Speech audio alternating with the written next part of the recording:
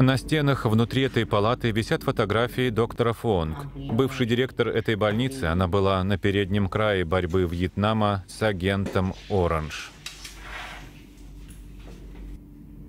В середине 1960-х годов в этой больнице она помогла появиться на свет сотням здоровых младенцев, но вскоре после того, как вооруженные силы США увеличили использование гербицидов до миллионов галлонов, она приняла роды ребенка, появившегося на свет без головного и спинного мозга.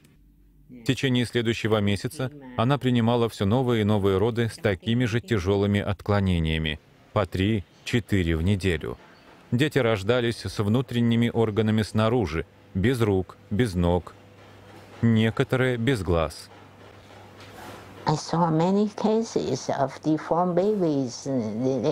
the hospital since 1965. There was uh, horrors not only for the family, uh, their family, but also for myself.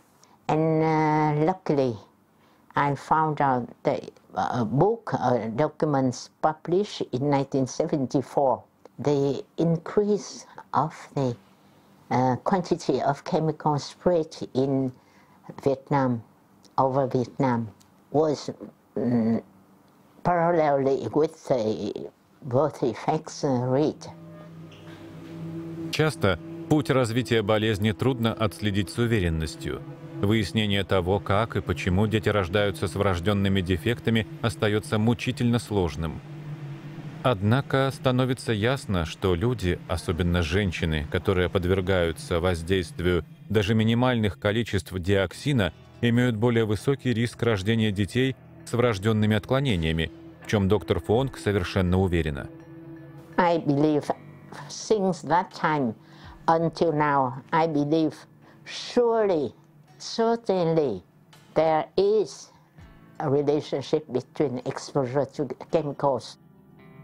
Но многие американские ученые ставят эту связь под сомнение – Выплата компенсаций и помощь жертвам со стороны США осуществляется медленно, и по сей день они с осторожностью относятся к любым гуманитарным усилиям, которые подразумевают признание ответственности.